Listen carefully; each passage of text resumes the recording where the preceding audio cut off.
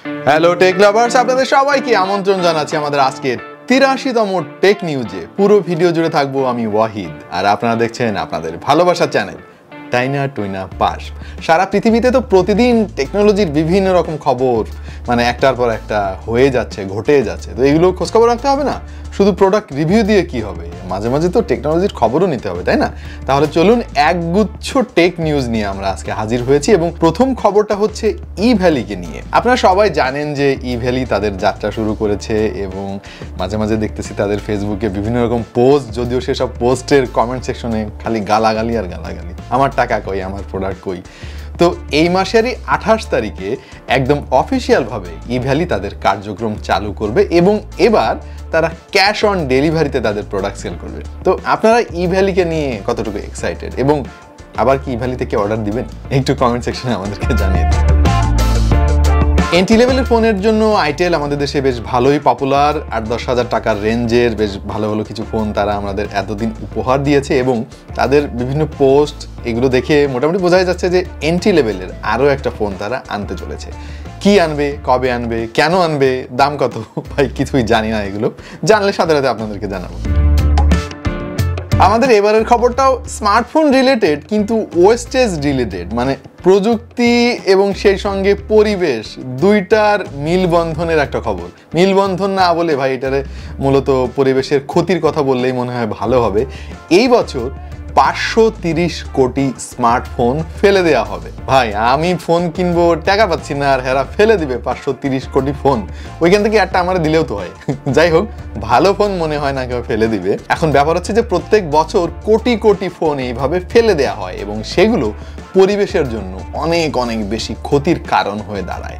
বিশেষ করে সমস্যাটা কোথায় হয়? অনেক অর্গানাইজেশন আছে যারা স্মার্টফোনের এসব ক্ষতিকর জিনিসগুলো আলাদা করে ওইটার একটা হেস্তনস্ত করে আর কি। কিন্তু আমাদের প্রবলেম হচ্ছে, ভাই, আমরা তো এই ফোনগুলো নিজেদের কাছে রেখে দিই, আমরা তো কাউরে দিয়ে দিই না যে, ভাই এ নাও, তুমি এই ফোনটা আমার হয়ে ফেলে দাও।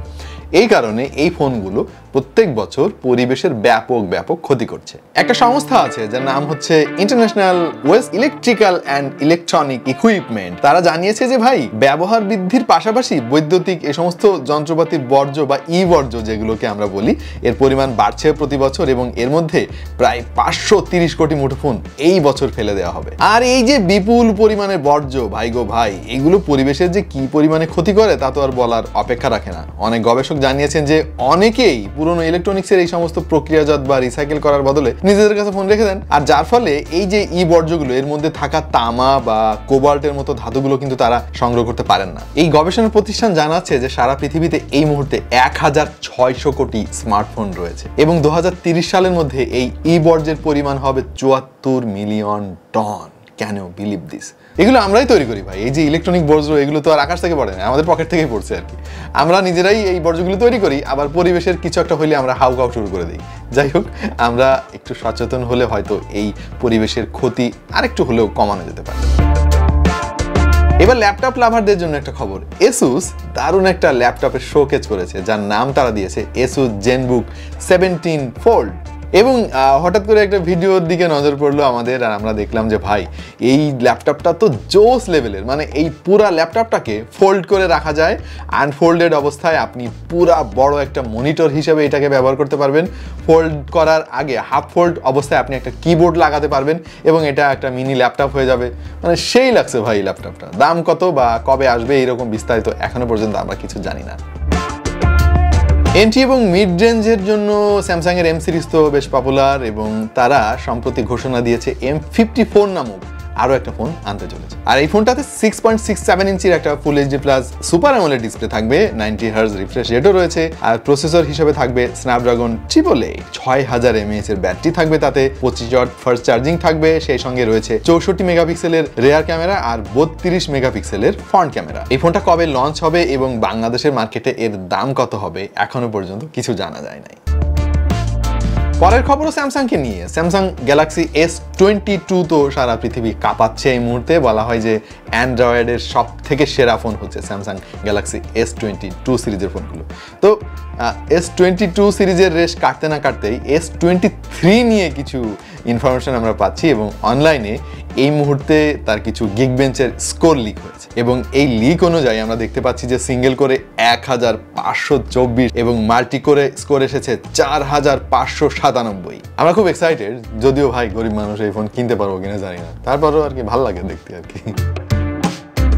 রিয়েলমির একটা খবর। রিয়েলমি আগামী মাসেই তাদের টেন সিরিজ মানে রিয়েলমি এইট নাইন এরপরে টেন টেন সিরিজের দুইটা মানে ফোন আনবে মার্কেটে যেগুলো দুইটা ভেরিয়েন্ট হবে। রিয়েলমি টেন হবে হচ্ছে ফোর জি ফোন আর রিয়েলমি টেন প্রো প্লাস এইটা হবে ফাইভ জি ফোন বিস্তারিত আর তেমন কিছু জানি না, এবং আশা করছি আমাদের দেশেও অফিসিয়ালি এই ফোনগুলো লঞ্চ হবে।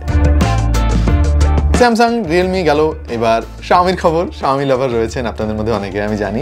শাওমি তাদের টুয়েলভ সিরিজ নিয়ে তো মোটামুটি বিজনেস ভালোই করতেছে সারা পৃথিবীতে। থার্টিন সিরিজের কিছু লিক ইন্টারনেটে আমরা দেখতে পাচ্ছি, এবং আশা করা যাচ্ছে থার্টিন সিরিজের ফোনগুলো খুব শীঘ্রই আমাদের মার্কেটে চলে আসবে। যারা অনলাইনে গেমিং টেমিং করেন, মাঝে মাঝে বেটিং সাইটগুলোতে অনুপ্রবেশ করেন, তাদের জন্য একটা খবর এবার। ইন্ডিয়াতে সম্প্রতি বেশ মজার বলব নাকি দুঃখের বলব ভাই, জানি না। উনিশ বছর বয়সের একজন তরুণ, সে অনলাইনে যে বেটিং সাইটগুলো আছে গেমিং টেমিং করা যায় টাকা পয়সা আর কি দুই নাম্বারই করা যায় এখান থেকে মানে জুয়ার মতো আর কি বাংলা কথা। তো সেই ছেলে এই অনলাইন বেটিংয়ে পঞ্চাশ হাজার টাকা মানে পুরা আর কি ধরা খাইছে আর কি। সবার কাছ থেকে ধার টার করে পঞ্চাশ হাজার টাকা সেখানে দিছিল, গায়েব আর কি পুরাই। এখন টাকা কই পাবে সে, ধার কীভাবে শোধ করবে? সে করছে কি? তার এক বন্ধুকে সাথে নিয়ে নিজেকে আত্মগোপনে রেখে মানে কিডন্যাপ হয়ে গেছে, এরকম একটা নাটক করছে। নাটক হওয়ার পরে মানে যেটা হয় আর কি, বাবা মাকে ফোন করছে, তার হয়ে একজন, যে আপনার ছেলেকে আমরা বন্দি করে রেখেছি, পঞ্চাশ হাজার টাকা লাগবে, তা না হলে ছেলেকে কতল করে দিব? তা বাবা মা কী করবে? পুলিশে খবর দিছে। পুলিশ যখন এই সমস্ত ব্যাপারটা নিয়ে তদন্ত করছে, তখন তারা দেখে যে, আরে হ্যাঁ নিজেই তো নিজের কিডন্যাপ করছে। এই হলো অবস্থা। এবং আমাদের দেশেও কিন্তু এই সমস্ত ঘটনা প্রায় শোনা যায়। ইন্ডিয়া তো তো অহরহ, প্রচুর হয়েছে এরকম।